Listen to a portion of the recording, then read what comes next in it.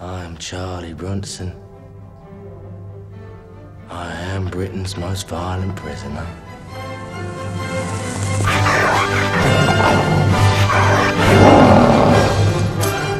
Prison was honestly brilliant.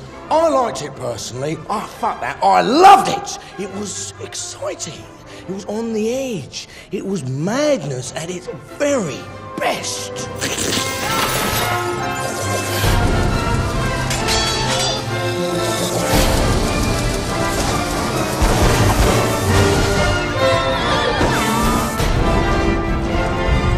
The problem is, once you get comfortable, or sometimes even before, they ghost you again and again, moving you from prison to prison to prison.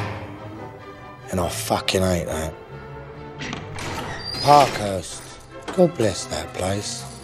The accommodation was more than worthy of my royal self. Your own bed, toilet, a sink. The food was of exceptional standard. Yes, Parkhurst was a corker.